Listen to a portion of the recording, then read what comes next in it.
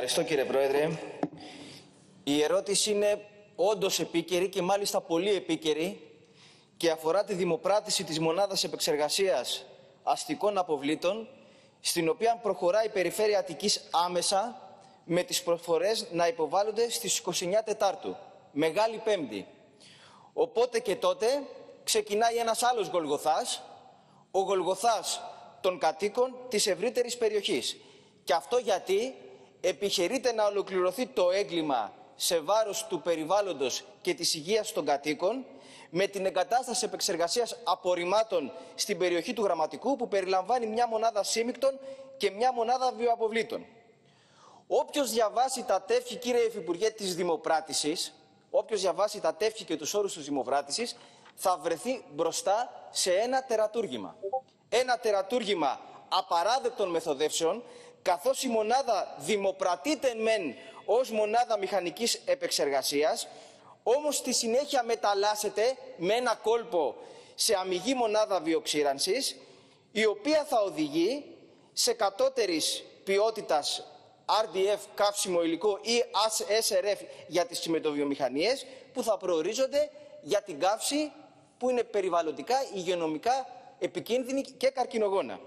Είναι επίσης ένα τερατούργημα παρανομίας και αυθαιρεσίας καθώς η μονάδα δημοπρατείται χωρίς να διαθέτει νόμιμη απόφαση έγκρισης περιβαλλοντικών όρων, τα τεύχη δημοπράτησης επικαλούνται μία απόφαση έγκρισης προ 18 ετίας, που είναι κάτι άλλο, και επίσης είναι ένα τερατούργημα κατασπατάλησης δημοσίων πόρων, καθώς οδηγεί σε μονάδα με προϋπολογισμό τριπλάσιο σχετικά από τα προβλεπόμενα.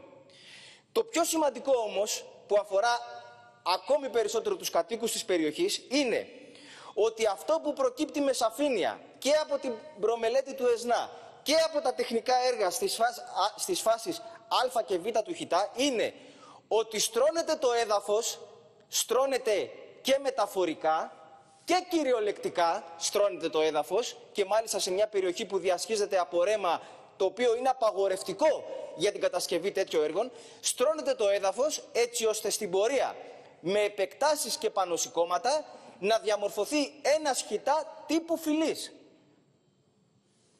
Για να το καταλάβει λοιπόν και ο πιο αδαής στο θέμα, άλλο εξαγγέλλεται, άλλο δημοπρατείται, άλλο εγκρίνεται από τις περιβαλλοντικές μελέτες και άλλο είναι αυτό που τελικά θα εμφανιστεί στην περιοχή ως έργο.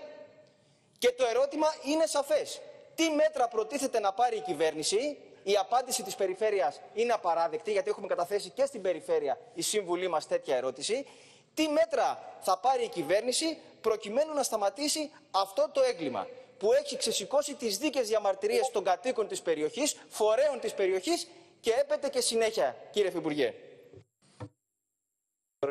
Κύριε συνάδελφε, σέβομαι την ε, ευαισθησία σας για ένα πραγματικά κρίσιμο θέμα αλλά ας δούμε όμως ρεαλιστικά τη μεγάλη εικόνα. Το θέμα της διαχείρισης των στερεών αποβλήτων, απορριμμάτων, σε όλη την Ελλάδα.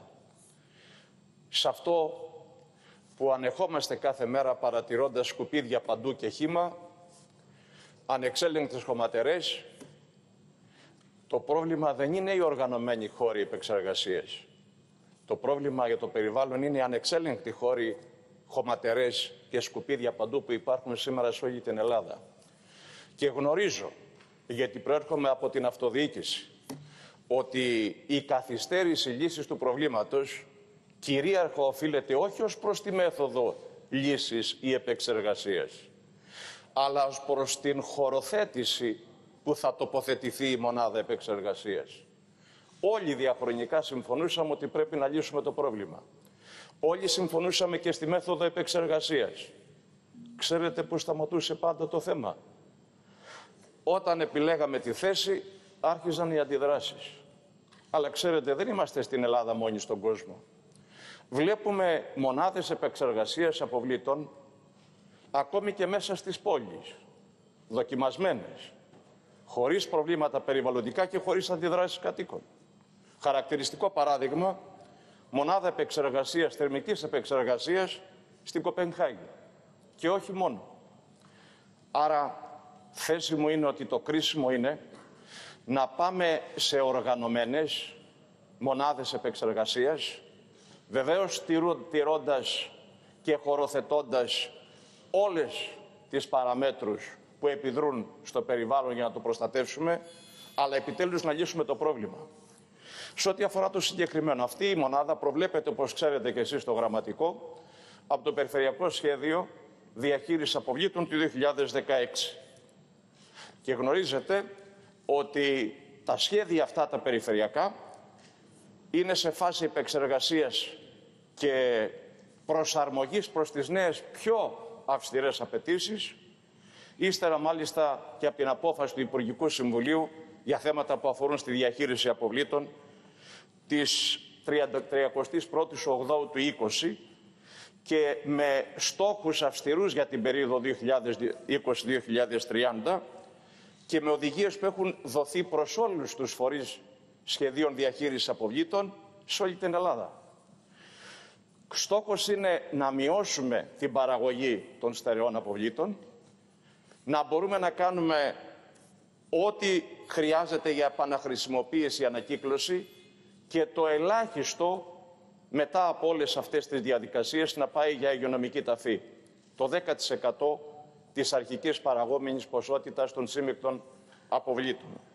Αυτές είναι βασικές αρχές προσαρμογής στην Οδηγία 2018 κάθετος 851 της Ευρωπαϊκής Ένωσης και σύμφωνα με το Εθνικό Σχέδιο Διαχείρισης Αποβλήτων. Και ξέρετε όλα αυτά ελέγχονται από ειδικούς τεχνικούς συμβούλους της Ευρωπαϊκής Ένωσης, της DigiRigio, ακολουθώντας ακριβώς όλες αυτές τις οδηγίες. Σε ό,τι αφορά ειδικότερα στο θέμα που αναφερθήκατε, ο χρόνος περνάει και θα είμαι απόλυτα συγκεκριμένος στις παρατηρήσεις που βάλατε και στους προβληματισμούς, σε ό,τι αφορά την διαγωνιστική διαδικασία, επειδή είναι μελέτη και κατασκευή του έργου, αναφερθήκατε και εσείς. Όλα αυτά θα ελεγχθούν και κατά τη φάση υποβολής προσφορών, αλλά και κατά τους τρόπους και τις αναφορές στην ίδια την επεξεργασία. Επειδή όμως ο χρόνος πέρασε, θα συνεχίσω στη δευτερολογία μου, απαντώντας συγκεκριμένα στους προβληματισμούς σας. Ευχαριστώ κύριε Πρόεδρε. Ως κόμμα το αντιμετωπίζουμε και το προσεγγίζουμε το θέμα αυτό της διαχείρισης των απορριμμάτων απόλυτος ρεαλιστικά. Απολύτως ρεαλιστικά. Και ο ρεαλισμός της πολιτικής σας είναι ο χιτά φιλής. Αυτό εκεί έχει οδηγήσει. 50 χρόνια, 50 χρόνια, μία κατάσταση, μία υγειονομική και περιβαλλοντική βόμβα στην Αττική που έχει γεμίσει με καρκίνο όλη τη Δυτική Αττική με βάση με επίσημες μελέτες.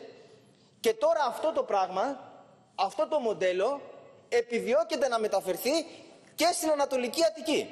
Και μάλιστα σε μία περιοχή υψηλής περιβαλλοντικής σημασίας με περιοχές Natura, με ένα εθνικό πάρκο, το εθνικό πάρκο του Σχοινιά, λίγα χιλιόμετρα νοτιότερα και με μία περιοχή ακριβώς δίπλα όπου συνέβη μια τεράστια καταστροφή, η καταστροφή στο μάτι και όπου ακόμη και σήμερα υπάρχουν εκκρεμότητες με κατεστραμμένα, με οικισμούς, με δασικούς χάρτες κτλ. κτλ.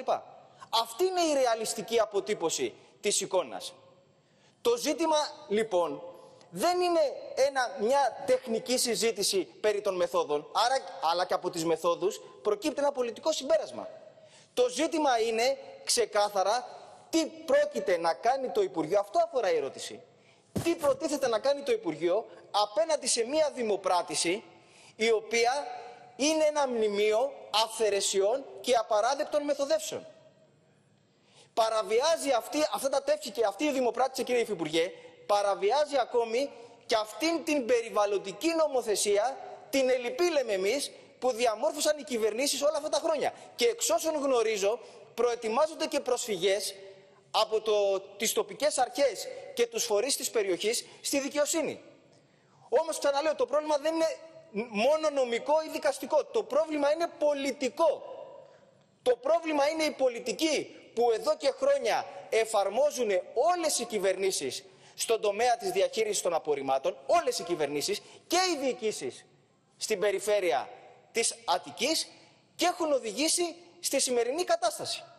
Στο σημερινό ε, εσκεμμένο, να το πω έτσι, αδιέξοδο, για να έρθουν μετά να επιβληθούν λύσεις επικίνδυνες τύπου καύσης. Να σας πω μόνο να σας διαβάσω από τη σύμβαση τι λέει το άρθρο 8 που είναι αυτό το κόλπο του δικαιώματος προαίρεσης άλλο να εξαγγέλουμε και να δημοπρατούμε και άλλο να φτιάχνουμε τελικά.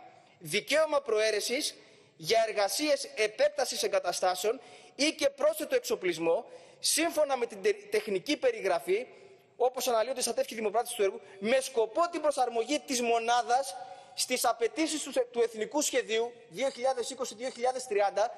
με επιπλέον παραγωγή δευτερογενούς καυσίμου ανάλογα με τις εφαρμοζόμενες τεχνολογίες. Αυτή είναι η πολιτική σας. Ποια ανακύκλωση.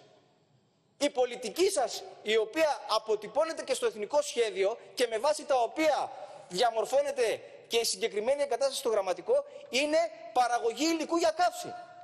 Εκεί πάει το πράγμα. Είτε στις τσιμεντοβιομηχανίες ή κάπου αλλού με τις γνωστές επικίνδυνες για το περιβάλλον και την υγεία των κατοίκων συνέπειες. Γι' αυτό το λόγο, συν η περιβαλλοντική μελέτη που δεν ισχύει πια, συν, συν, συν μια σειρά ζητήματα που αναπτύξαμε. Γι' αυτό σας λέω κύριε Υπουργέ, σταματήστε, σταματήστε αυτό το έγκλημα. Κάνετε παρέμβαση, μην κρυφτείτε πίσω και μην κρύβεστε πίσω από την στάση της περιφέρειας, να σταματήσει τώρα αυτό το έγκλημα. Έχουν γνώση οι φύλακες, οι κάτοικοι γνωρίζουν πάρα πολύ καλά και έχουν κάνει πολλές κινητοποίησεις και γνωρίζουν τι πρόκειται να συμβεί εκεί και ποιοι είναι οι κίνδυνοι, όμως σταματήστε αυτό το έγκλημα. Ο χιτά φυλής έπρεπε να έχει κλείσει εδώ και χρόνια και επεκτείνεται. Επεκτάθηκε παράνομα.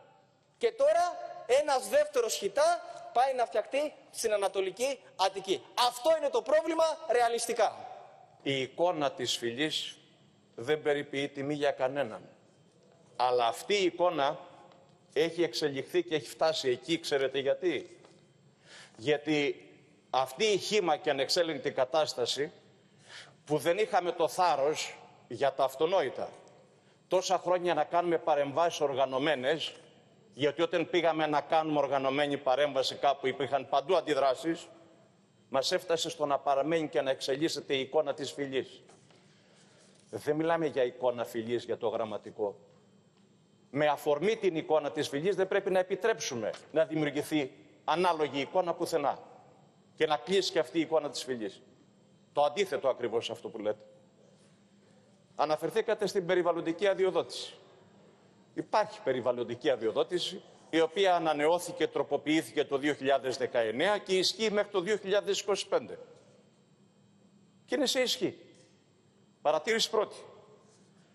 Σε ό,τι αφορά τον προϋπολογισμό του έργου, επειδή αναφερθήκατε στην ερώτησή σας, τα 55 εκατομμύρια προπολογισμό του έργου είναι κατά αναλογία αντίστοιχο με άλλες δημοπρατήσεις ανάλογων έργων στην υπόλοιπη Ελλάδα. Και έχουν υπάρξει και εξελίσσονται. Σε ό,τι αφορά το κόστος λειτουργίας, επειδή αναφέρεστε στην ερώτησή σας, στην επερώτησή σας, στην επίκαιρη, και στο κόστος. 52,47 ευρώ τον τόνο μετά από την εξέλιξη του έργου, 53,73 σήμερα. Αναφερθήκατε στο θέμα που σέβομαι απολύτως της ενεργειακής ως προβληματισμό και ως φόβο της ενεργειακής αξιοποίησης και το θέμα της χωροθέτησης. Δεν τίθεται θέμα ενεργειακής αξιοποίησης χωροθέτησης στο γραμματικό. Επειδή όλα αυτά εξελίσσονται και επηρεάζουν το σχεδιασμό, ξαναλέω, σέβομαι τον προβληματισμό, καθυστερήσαμε να πάρουμε αποφάσεις λύσεις προβλημάτων, γι' αυτό φτάσαμε στις απαράδεκτες εικόνες που έχουν πολλαπλασιαστεί και ο στόχος είναι επιτέλους όλοι μας αναλαμβάνοντας την ευθύνη που μας αναλογεί, να δώσουμε διέξοδο σε αυτή την απαράδεκτη εικόνα που έχει πολλαπλασιαστεί παντού. Δηλαδή δεχόμαστε να βλέπουμε σκόρπια, σκουπίδια παντού στον δρόμο και όταν πάμε να οργανώσουμε με έλεγχο και με προδιαγραφές και που δεν τα κάνουμε μόνο στην Ελλάδα, τα κάνουν σε όλο τον κόσμο. Ξεκινούμε τις αντιδράσεις. Αγαπητέ συνάδελφε, δεν μπορούμε να σταθούμε όμοιροι ενός κακού παρελθόντος στο να πάρουμε αποφάσεις και να λύσουμε προβλήματα. Αυτά όλα θα κρυθούν στην πράξη από όλους μας. Ξαναλέω όμως, δεν το κάνουμε μόνοι και πρώτοι στον κόσμο. Το έχουν κάνει πολλά χρόνια πριν, άλλοι, χωρίς κανένα πρόβλημα, απαλλάσσοντας από αυτή την απαράδεκτη εικόνα και βεβαίως από την καταστροφή του περιβάλλοντος. Ευχαριστώ πολύ κύριε Πρόεδρε.